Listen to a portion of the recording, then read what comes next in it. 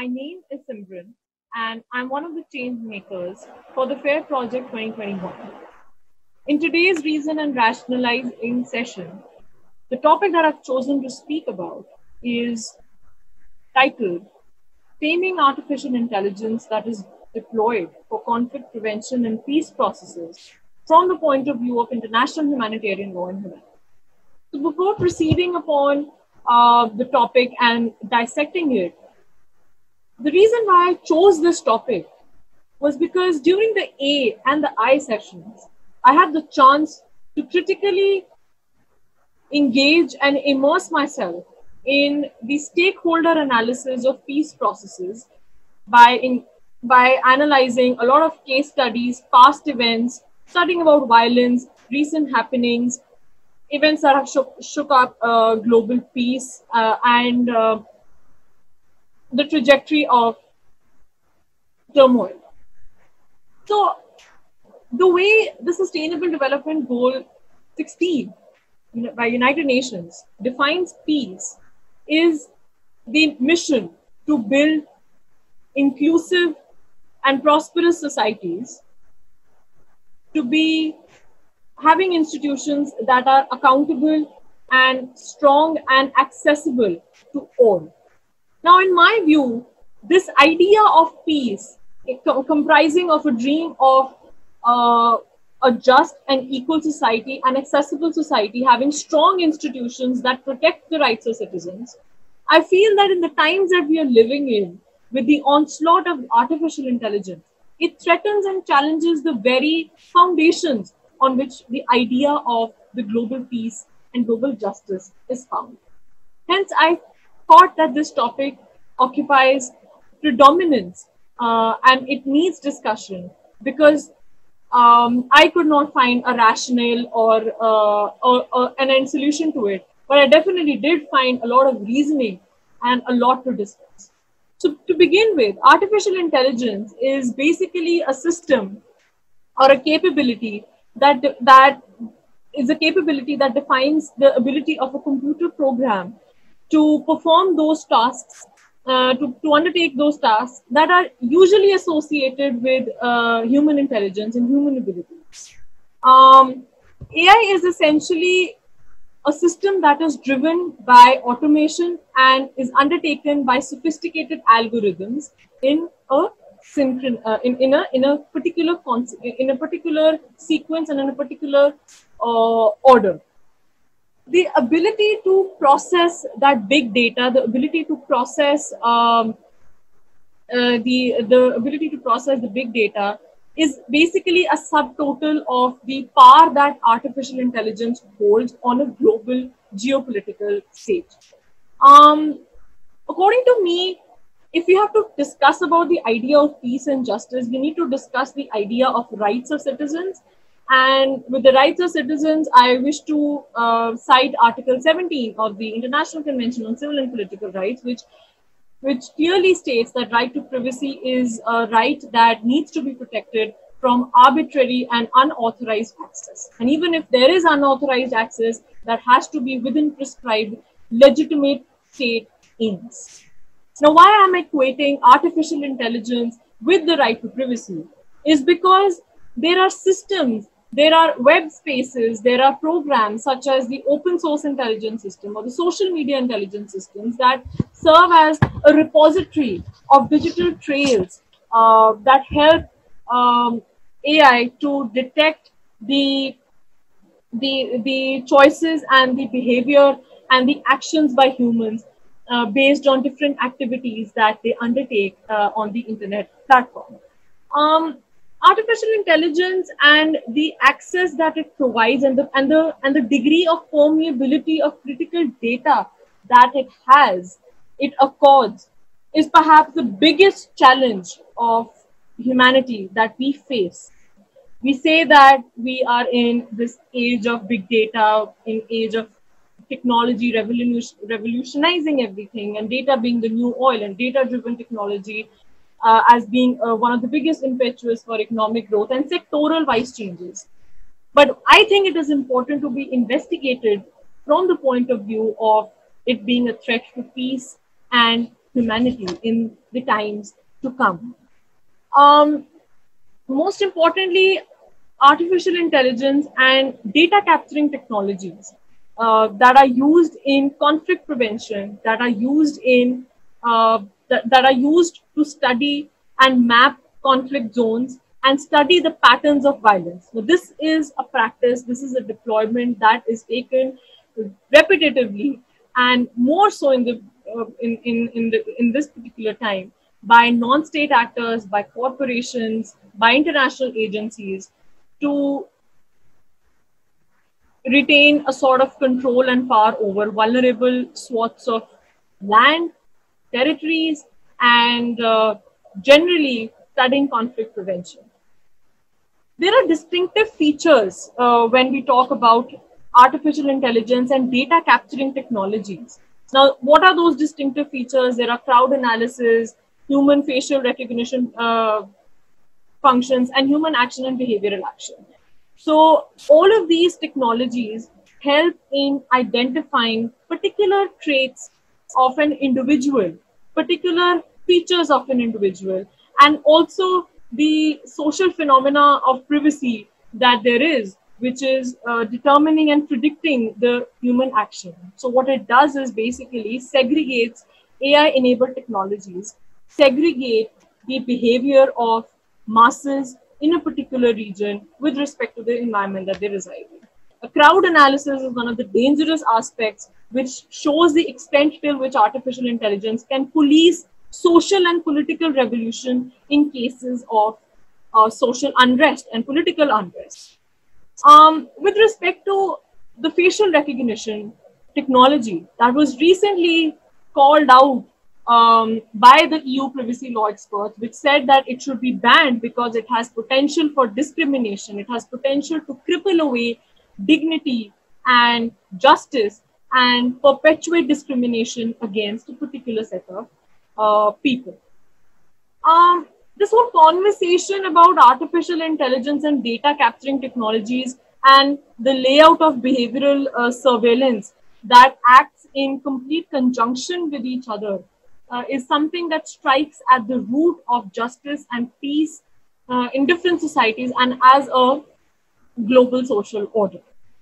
The layout of behavioral, uh, the layout of behavioral uh, surveillance uh, is something that, with respect to facial recognition technology, points out towards a very destructive tendency of AI unleashing tyranny. It's, it's a very it's, it's a different anomaly that talks about AI unleashing uh, tyranny because of the fact that it is beyond hum- human control, the fact that it is uh, unchecked, it is undeterred, and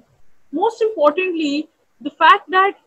AI enabled technologies and data capturing technologies uh, are deployed in conflict prevention zones, are, are deployed in zones that are driven, uh, that, that are conflict ridden, um, it, it challenges the human rights of those people residing in those areas, such as right to self-determination, right to freedom of speech and expression, um, uh, right to safety, uh, as well as uh, protection against uh, discrimination. Because if AI-enabled technologies, along with its instrumentalities, has the potential to predict human behavior, to predict human actions, to identify uh, humans through uh, intrusive and penetrative technologies. It poses a huge risk because it has the it has the potential to predict the the the event that has not yet happened. And talking about it in a tumultuous zone, in, in a conflict uh, in, in a conflict-ridden zone, this is something that is bound to be discriminated against the vulnerable masses who are at the who are at the um, who are facing the brunt of uh, violence. Uh, so hence AI-enabled technologies and data capturing technologies are something that can be counterproductive with respect to peace. Now, even if this working paper uh, says that UN Digital uh, Toolkit, um, which implores the idea that if big data is, you know, used in relation or in conjunction with the social media analytics, uh, it is something that can help uh, AI to get to the root of this originate uh, of the origin of hate speech or fake news or or disruptive um, or all the activities that disrupt social order. Now, this was about AI data, data capturing technologies and behavioral uh, monitoring and, and the layout of surveillance that comes with, which disrupts normal, the, the discourse of civil society as well as the foundations of peace and justice that it effectively crushes down. Um, there is one another interface of artificial intelligence with respect to threatening peace at a rapid pace, at an unchecked pace, and that is the system of autonomous weapon systems with respect to international humanitarian law. Now, the international humanitarian law was basically a product of a framework uh, uh, in the aftermath of the destruction that was brought about by the Second World War to protect the rights of victims, to prevent escalation of violence, and to hold accountable the stakeholders and the parties to an armed conflict. But with the onslaught of artificial intelligence and the deployment of artificial intelligence as a defense personnel by different states in a means to exchange in modern warfare uh, by deploying weapons like robots and drones and, and missiles, etc., is something that poses a huge challenge to the idea of peace and the idea of uh, safety in the world. Um, the very definition of autonomous weapon systems is something that proves that artificial intelligence and artificial enabled technologies is at the center of the geopolitical arms race because autonomous weapon system is a system that can detect, decipher, select, target, and unleash an attack on civilians uh, in a completely unaccounted for and in a completely disproportional manner. From the point of view of disproportionality, from the point of view of impartiality, from the point of view of neutrality and independence and impartiality, all of this stands to lose. All of this stands to effectively cripple away. The interface of artificial intelligence and autonomous weapon systems with respect to international humanitarian law and uh, the idea of humanity is such a is such a destructive predicament that experts are trying to get to the root of because with the with the effective uh, with the effective research and with the effective amount of capital that is being put into uh, aggravating the use of AI in different sectors, especially in peace building efforts, especially in, in the sectors of modern warfare, has a direct impact, has a direct relation with, uh, with, with the idea of peace, with the idea of justice in, in, in us, in, in, in the world as such. But this is not something that is nation specific or area specific or zone specific. This is something that we're talking about a wide construct, a wide region that is talking about data enabled technologies and and data enabled technologies that are used for monitoring behaviors that are used to uh, monitor conflict prevention and bring about peace effort. But what is essentially is happening is that it is something that has gone beyond human control, beyond human intervention, which has completely struck the idea of accountability, which goes at the heart of justice, as one of the goals that is envisaged by United Nations. Um, when there is no accountability for an attack, um, there is no um, there is complete ambiguity that surrounds the use of AI in warfare, uh, in conflict prevention, in day-to-day using of AI and processing data and ability to visualize data that that surveils and surveys masses all together. This is something that's deeply, deeply threatening, deeply, deeply unaccounted for. And um, so far, policies and regulations that have attempted to check or seek or have attempted to seek control over the after effects or the negative effects of AI technology have not been successful because the problems still persist. And with respect to the autonomous weapon systems, the the tyranny and, and, and the lethal force that it unleashes and the potential to harm civilians in, in one go uh, is something that is completely unprecedented.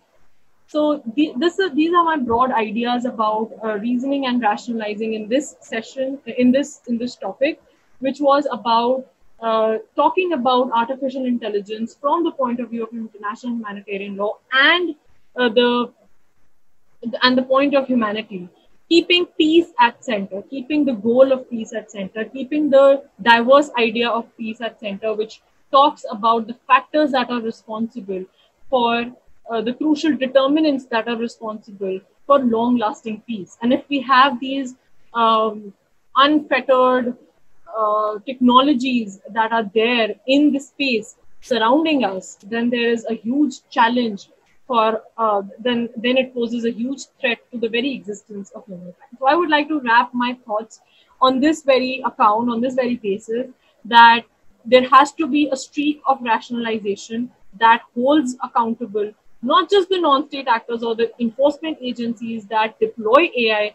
to uh, undertake a series of tasks, but also the state actors that have gone on to the extent of incentivizing, um,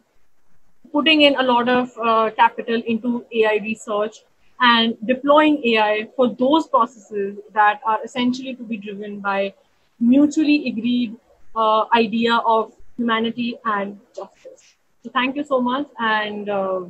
thank you for giving me a chance to speak.